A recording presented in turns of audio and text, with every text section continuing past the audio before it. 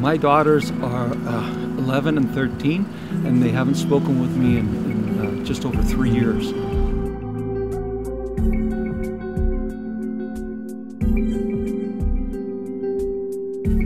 I pick them up from their mother's house. They only stay in the vehicle. They cover their faces. They, they have not communicated in any way in that time period. I know it's not their fault. They've been brainwashed, much like somebody in a cult would be.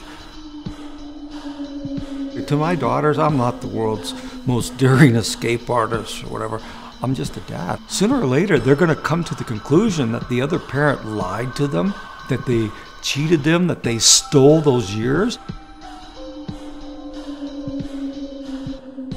Fathers are, are voiceless. Uh, we need to bring in laws uh, to support uh, co parenting and 50 50 sharing from the beginning. The, the criteria for parent alienation is very clear. We need to educate judges, lawyers, uh, mental health professionals, teachers, principals, and our legislators to help save these children. Who's going to stand up? Who's going to stand up for my children? Who's going to be the first MLA or the MP to take this under their wing and say, all right, change is happening and change is happening now?